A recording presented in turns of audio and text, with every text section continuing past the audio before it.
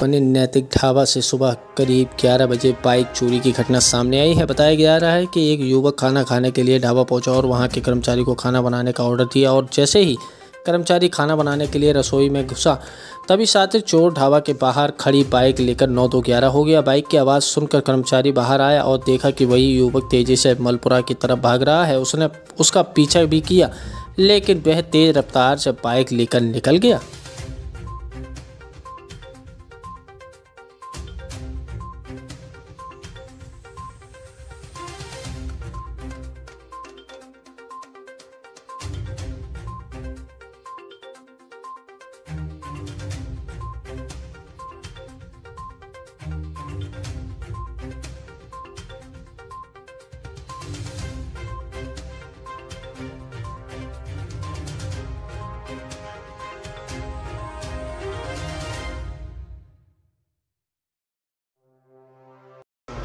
Ranjit. Ranjit.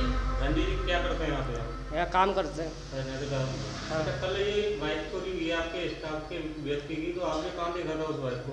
Sir हम घर से आ रहे थे सुबह के टाइम तो एक लड़का जो दो दिन से हम देख रहे थे तो गाड़ी लेके मैंने उसको आवाज़ दी तो वो रुका नहीं। सीधा स्पीड में गाड़ी लेके चला गया। मैंने ये सोचा भैया ने दी होगी गाड़ी शायद। था। हाँ मैंने ये सोचा भैया ने शायद गाड़ी दी होगी। को नहीं नहीं। शकल से पहचानता।